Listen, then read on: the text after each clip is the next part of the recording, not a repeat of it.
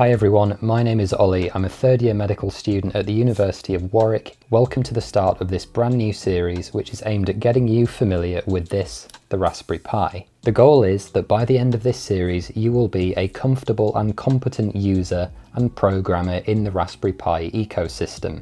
In order to accomplish that, we're first going to familiarise ourselves with the system, have a look at why we're interested in the Raspberry Pi, all the components that make it up, then as quickly as possible we'll get you into coding, programming and building your own projects using the Pi. I'm very much a believer in learning by doing and so the focus of this project is going to be practical. I'd be absolutely delighted if you'd follow along with the videos at home, get yourself a Pi and start building projects. It's a really exciting field to be in and the community of Pi makers is absolutely fantastic. Everyone is really supportive and helpful and I think it represents a really important tool that more people, particularly medical professionals, should be familiar with. Now this series is aimed chiefly at medical students, although obviously students of any discipline or health professionals, really anyone who wants to get involved. So let's not waste any more time and jump into this first video. So in this first tutorial we're going to explore what is the Raspberry Pi and why should you care? As I think most of you can hopefully appreciate, it's a small green circuit board fundamentally.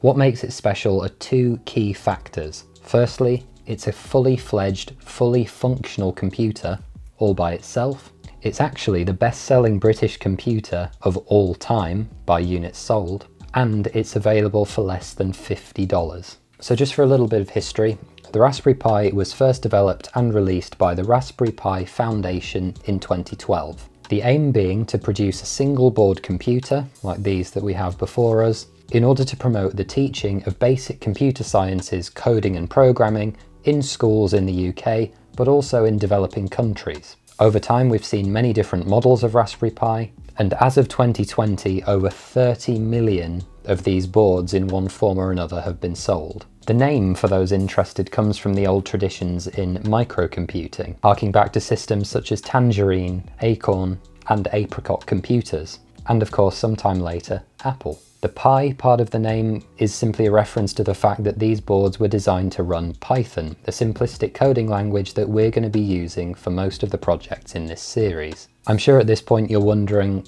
why does anyone care? What do people actually use these for in the real world?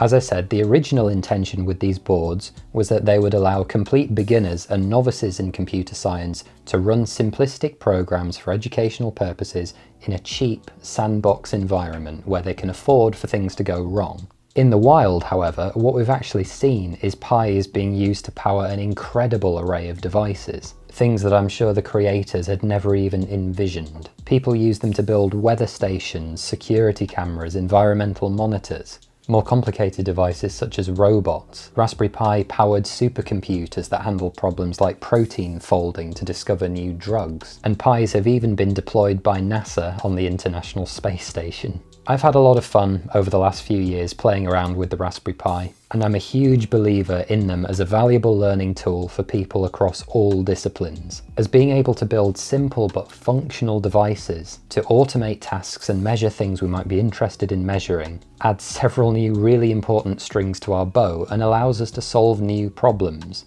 So that's why I'm passionate about the Pi, that's why I want to help you become familiar with the system, learn a bit more and get you building devices for yourself and sharing them with the world. One of the key driving principles behind the Pi and why it's been so successful is the concept of it being open source. That is, a design that's freely available for people to use and improve upon and share with the community, and this holds true for most of the devices that people build with them.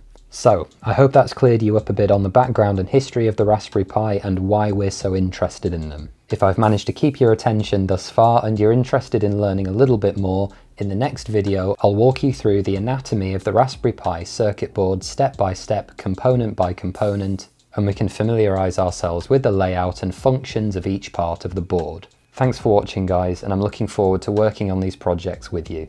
Take care and I'll see you next time.